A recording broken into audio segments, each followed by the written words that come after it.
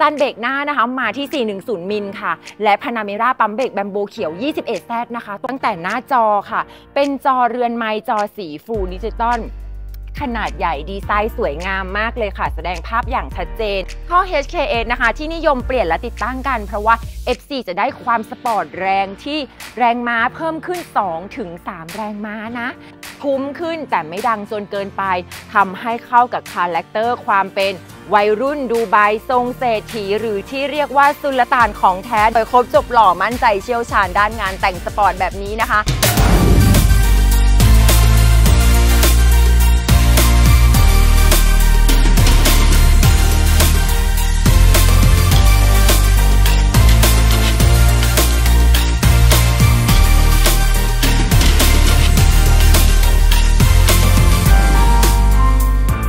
ค่ะ สวัสดีแฟนๆ ทางช่อง YouTube นะคะ กับ Ford by วาเลนค่ะ วันนี้วาเลนอยู่โชว์รูมฟอร์ดเกษตรนวมินโชว์รูมรถฟอร์ดที่มียอดขายดีเป็นอันดับหนึ่งของประเทศ และนำรถเอเวอเรสต์เจ็ดที่นั่งค่ะ ต้องบอกเลยว่าคันนี้ความพิเศษของเอเวอเรสต์รุ่นสปอร์ตมา wrap เป็นสีเทาแลมโบทั้งคันนะคะ แล้วก็ได้ wrap เพิ่มในจุดรายละเอียดให้เป็น Kevlar เพื่อตัดความสปอร์ตโฉบเฉี่ยวเข้าไปอีกค่ะ มาดูกันเลยค่ะว่า FC ลูกค้าวาเลนที่เตรียมรับมอบรถตกแต่งอะไรให้กับคันนี้บ้างนะคะเอเวอเรสต์สปอร์ตคันนี้นะคะ ด้วยลายเส้นของความเป็น 2,000 ซีซีดีเซล 170 แรงม้าแรงบิดมาถึง 405 นิวตันเมตรนะคะ ได้เกียร์อัตโนมัติ6 speed 6 เกียร์ ตั้งแต่การ wrap เป็นเทา Lambo เปลี่ยนสีรถได้ดั่งใจสีฉ่ำเงา แล้วงาน cutting นะคะ เก็บขอบมุมอย่างประณีตมาก เพราะทีมช่างเราเชี่ยวชาญด้านงาน wrap สีโดยใช้เกรด PET ไม่เป็นผิวเปลือกส้มและไม่รบกวนปัญหาเวลา ทิ้งคราบกาวตอนลอกอีก 4 ปีนะคะ แล้วก็สีฉ่ำเหมือนสีจริงเลยค่ะ งาน cutting ดีๆ แบบนี้วาเลนก็มุ่งเน้นให้และเอเวอเรสต์อักษรอะคริลิกลายเส้นที่ฝากระโปรงหน้าโดดเด่นในความเป็นรุ่นสปอร์ตค่ะ กระจังหน้ามีการดีไซน์เปลี่ยนนะคะวาเลนได้จัดเป็นกระจังหน้าคอลเลกชัน FORD แต่ครั้งนี้นะคะ FORD นะคะมีการตกแต่งเป็นลาย Kevlar ค่ะ ก็ได้ความสปอร์ตตัดกับสีเทา Lamboมาก ๆ เลยนะคะ ในส่วนของไฟ mini light 3จุดสีขาว แล้วก็ LED daylight ก็ยังเท่อยู่เลยวาเลนก็จัดครอบไฟหน้าให้เป็นสีดำเงาค่ะ แต่ความพิเศษนะคะ เห็นไฟหน้าแล้วก็คือมีการ wrap ฟิล์มที่โคมไฟหน้าเป็นฟิล์มสำหรับการ wrap โคมไฟนะคะทำให้ออกมาเป็นสีชาดำแล้วก็โฉบเฉี่ยวเน้นความเป็นสปอร์ตเพิ่มขึ้นค่ะ ใส่สเกิร์ตหล่อๆ แบบนี้นะคะ ก็ของสำนัก Victor ค่ะ ลายเส้นสเกิร์ต Victor นะคะ ได้ครอบทับกันชนเดิม เว้นช่องเซ็นเซอร์หน้า แล้วก็โชว์ความเป็นไฟตัดหมอกหน้าของรุ่นสปอร์ตได้อย่างดี ดีไซน์คอลเลกชัน wrap เป็นสีเทา Lambo ตัดกับความเป็นดำเงานะคะ แล้วก็มีอักษรคำว่า Victor โดดเด่นแบบนี้ให้เป็นเอกลักษณ์ของสำนัก Victor ค่ะ เรามาดูมิติตัวรถด้านข้างกันบ้างดีกว่านะคะวาเลนจะพาแฟนๆนะคะทางช่องได้เห็นเลยค่ะว่าเอเวอเรสต์สปอร์ตเนี่ยเวลาที่เรามา wrap คิ้วซุ้มล้อเป็น Kevlar เนี่ยหล่อขนาดไหนนะคะ คันนี้ค่ะ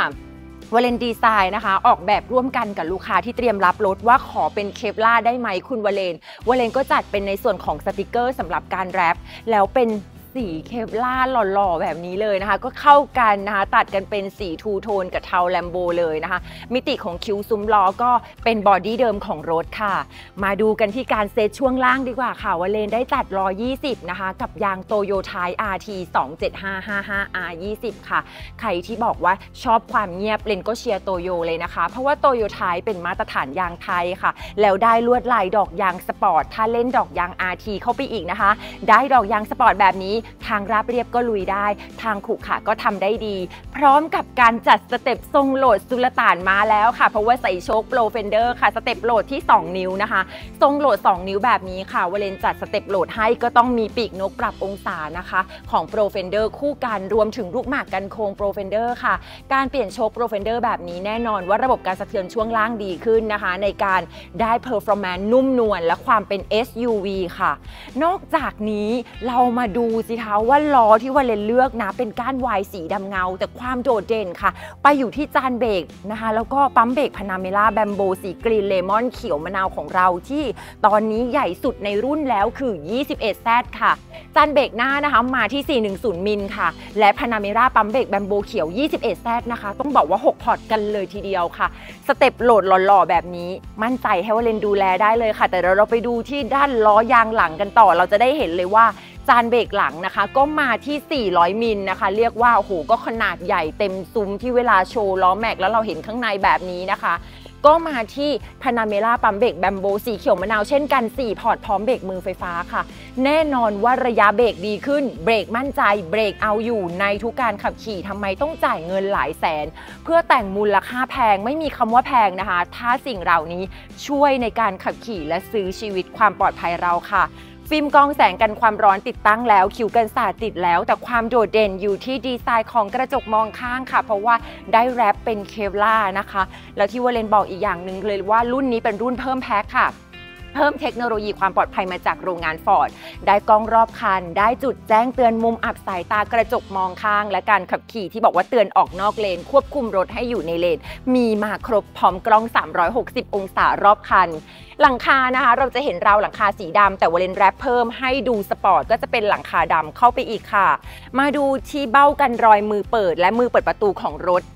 เอเวอเรสต์กันดีกว่าค่ะ เพราะว่าใส่เป็น Kevlar เลยนะคะ เป็น wrap เป็น Kevlar ที่มือเปิด แล้วก็เพื่อให้ตัดความเป็น two-tone แล้วก็เป็นเบ้ากันรอยสำหรับแหวนหรือนิ้วมือในทุกครั้งที่เราเปิดประตูนะคะ จะได้ไม่ต้องกลัวหมดปัญหากังวลใจเรื่องรอยนิ้ว และได้ความสปอร์ตของข้อฝาถังน้ำมัน เพิ่มไปอีกค่ะ เป็นสีดำเงาแบบนี้โอ้โห ต้องบอกว่ารถคันนี้นี่ลายเส้นเขาเน้นความเป็น two-tone นะมาในเทา Lambo ตัดดำเงาเข้ากับ Kevlar โอ้ยแล้วมาดูสปอยเลอร์สิคะก็เป็นดำเงาอีกนะคะ งานนี้เป็นของสำนัก Victor ที่มาในเซตเลยค่ะ สปอยเลอร์หลังก็ไม่ได้บดบังในส่วนของไฟเบรกดวงที่ 3 แถมยังมีลายเส้นนะคะ ที่เน้นความโฉบเฉี่ยวนะคะ โดยการออกแบบลวดลายของสปอยเลอร์หลัง ไฟท้ายวาเลนโชว์ความเป็น LED ซิกเนเจอร์ไลท์ทรงเรียวยาวให้กับแฟนๆทางช่องได้เห็นเลย เพราะว่ารุ่นของเอเวอเรสต์เราเป็นประตูฝาท้ายไฟฟ้าและได้ไฟท้ายแบบ top แบบนี้ พร้อมกับงาน wrap ค่ะ เรา wrap ฟิล์มสีชาที่โคมไฟท้าย ฟก็ไม่ได้ดรอปแสงลง แต่ได้อารมณ์ความโฉบเฉี่ยวและสปอร์ตมากยิ่งขึ้นนะคะ คันนี้ค่ะพอมี skirt หน้าก็ต้องมี skirt ท้ายใช่ไหมคะ และนี่คือ skirt วิกเตอร์นะคะ ด้านท้ายที่เป็นเวอร์ชั่นที่เจ้าของรถนะคะ เป็นผู้เลือกสรรแล้วก็วาเลนออกแบบให้ด้วยมีการพ่นนะคะ ที่เป็นท่อหลอกนะคะ เป็นสีดำด้านแบบนี้ค่ะ แล้วโชว์ diffuser เป็นสีดำด้านค่ะ สำนักวิกเตอร์เนี่ยเขาพยายามทำลายเส้นนะคะ ให้เป็นท่อหลอกเพื่อให้ดูโฉบเฉี่ยวและสปอร์ตวาเลนก็เอาไป wrap เป็นสีเทาแลมโบให้กับ FC ด้วยค่ะสุลต่านที่แท้จริงจะไปให้สุดแล้วจะหยุดทำไมก็ต้องมีปลายท่อคู่ด้วยค่ะ เดี๋ยวเรามาดูท่อคู่ออกด้านข้างนะคะ กับแบรนด์ HKS ค่ะ เป็นท่อคาร์บอนอีกเช่นกันนะคะ เลยบอกเลยว่าโหช่างไปกันอย่างลงตัวมากๆเลยท่อ HKS นะคะ ที่นิยมเปลี่ยนและติดตั้งกัน เพราะว่า FC จะได้ความสปอร์ตแรงที่แรงม้าเพิ่มขึ้น2ถึง3แรงม้านะ แล้วก็ยังได้ในส่วนของเสียงท่อค่ะ ที่ฟังดูแล้วสปอร์ตโฉบเฉี่ยว ทุ้มขึ้นแต่ไม่ดังจนเกินไปทำให้เข้ากับ character ความเป็น วัยรุ่นดูไบทรงเศรษฐีหรือที่เรียกว่าสุลต่านของแท้เดินเลสทั้งเส้นเป็นท่อคู่ออกข้างและออกได้จริงด้วยค่ะ งานภายนอกวาเลนได้เสริมแต่งหล่อให้ด้วยดีไซน์คอลเลกชันแบบสุลต่านของแท้แบบนี้แล้ว เราไปชมด้านในกันสักแป๊บหนึ่งนะคะ เพื่อให้แฟนๆ ได้เห็นในคลิปนี้ว่าภายในค่ะของเอเวอเรสต์สปอร์ตนั้นนะคะ ก็มีดีไซน์การตกแต่งตั้งแต่หน้าจอค่ะ เป็นจอเรือนไมล์จอสี full digital ขนาดใหญ่ดีไซน์สวยงามมากเลยค่ะ แสดงภาพอย่างชัดเจน รวมถึงจอกลางเป็น multi-touch touch screen รุ่นนี้แสดงกล้องรอบคันด้วยนะคะ ตั้งค่าต่างๆ รถยนต์ค่ะ รวมถึง wireless charge การชาร์จแบบไร้สายค่ะ ได้เกียร์อัตโนมัติ 6 สปีด 6 เกียร์ที่มีบวกลบข้างเกียร์เพื่อเอาไว้เร่งแซงหรือขึ้นเขาลงเขาค่ะ เบรกมือของรถเป็นเบรกมือไฟฟ้า และมีรูปแบบโหมดการขับขี่ที่มีระบบความปลอดภัย traction control ป้องกันลื่นไถลเวลาฝนตกค่ะ การตกแต่งดีไซน์มาในความเป็นสี piano black ดำเงานะคะ แล้วก็เบาะหนังค่ะก็ได้ตกแต่งออกมาเป็นสีดำแล้วก็เป็นเบาะหนังที่ปรับไฟฟ้าที่คู่หน้าทรงสปอร์ตแบบนี้เลย ด้วยแอร์ปรับอากาศ 3 แถว 3 ตอนค่ะ ใครอยากได้นะคะ ก็บอกเลยว่าได้ฟังก์ชันความปลอดภัยที่ครบจริง ๆ ค่ะ ฟอร์ดเอเวอเรสต์ซื้อที่ไหนก็ซื้อได้นะคะ แต่ถ้าเลือกซื้อฟอร์ดเอเวอเรสต์กับวาเลนสวยครบจบหล่อมั่นใจเชี่ยวชาญด้านงานแต่งสปอร์ตแบบนี้นะคะ เรามีบริการไฟแนนซ์ให้ถึงที่ส่งรถแต่งหล่อๆแบบนี้ให้ถึงที่บ้านด้วยค่ะ ฉะนั้นนะคะ อย่ารอช้าค่ะฝากกดไลค์กดแชร์กด Subscribe และเป็นกำลังใจให้กับวาเลนนะคะ อยากได้ก็ทักเลยโทรเลยค่ะ 0949469824 ค่ะ อีกหนึ่งช่องทางค่ะแอสไซวาเลน24แล้วคุณนะคะจะได้แนวทางการแต่งรถรวมถึงโปรโมชั่นสุดพิเศษจากวาเลน ฝากกดถูกใจกดติดตามในคลิปนี้ subscribe กันไว้ด้วยแล้วเจอกันใหม่ในคลิปหน้าวันนี้วาเลนขอบคุณมาก ๆ ค่ะ บ๊ายบายย